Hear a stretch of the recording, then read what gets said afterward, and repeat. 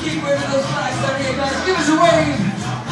This is once in a lifetime, 70 days, 8,000 miles, and the flame is here with you in just five minutes time. To the guy over there with the WrestleMania jacket, I was there also.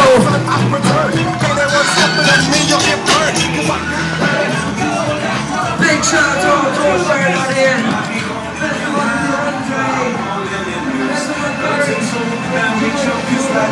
And the news Avoid the obvious We should be facing the truth Start to think we could be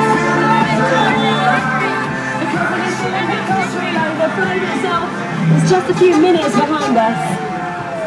Hello, hi Bizman. How are you doing?